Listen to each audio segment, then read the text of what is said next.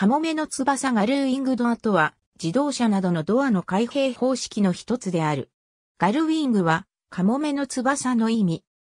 世界初のガルーイングドア採用の市販車、メルセデス・ベンツ 300SL ヒンジの軸がほぼ垂直で、車体左右の外側に向かって開くドアと異なり、ルーフとドア上辺の間に、車体中心線にほぼ平行なヒンジを持ち、地面に対して垂直に展開する形で開く。市販の乗用車では1954年発表のメルセデス・ベンツ 300SL が初めて採用し、それ以降主に高級スポーツカーが採用している。開閉に必要な横方向のスペースは通常のドアよりも少ない。開閉アシスト用のガスストラットが劣化すると開け操作が重くなり、閉まる側には勢いよく落ちるようになる。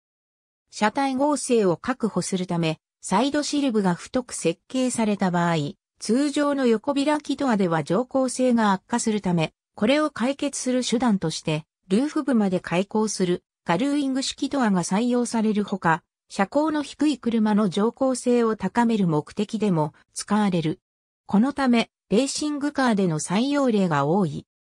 ルーフを下にして転倒した場合、物理的にドアが開かなくなり、車内に閉じ込められる可能性があるため、車内からフロントウィンドシールドを蹴って破壊できるようにしたり、衝撃で車体が変形すると、フロントウィンドシールドが外れて落ちるといった設計上の配慮も行われる。ドアが斜め前方に持ち上がるものは、ポップアップドアと総称される。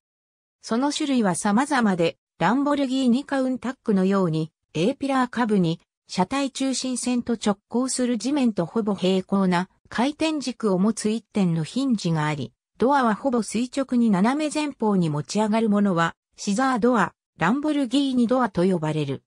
マクラーレン F1やメルセデス・ベンツ SLR マクラーレンのように少なくとも A ピラー下部にヒンジを持ち外側斜め前方に持ち上がるものをバタフライドアやインセクトウィングドアと呼び、多くは A ピラー下部と上部の2点、あるいは A ピラー下部とルーフの2点にヒンジがあり、斜めの回転軸を持つ。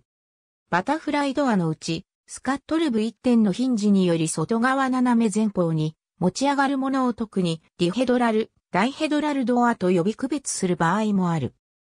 また、通常の前ヒンジドアに似るが水平ではなくやや、髪型外側に開く、スワンドア、一旦、ドア全体が外に少し開いた後に垂直回転して、乗降できるまで開く、ラプタードア、正式名称、 dihedral synchro、helix actuation door、戦闘機等のように、ドアとルーフが一体となって持ち上がる、キャノピードアなどがある。通常のドアヒンジをリンクに変更し、ポップアップドアに改造するキットも販売されている。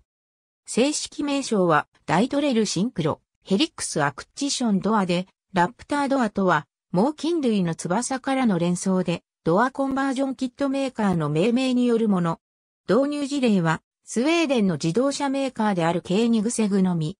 参考動画2021年2月閲覧1992年、オートザム AG-1 画像名車間。ありがとうございます。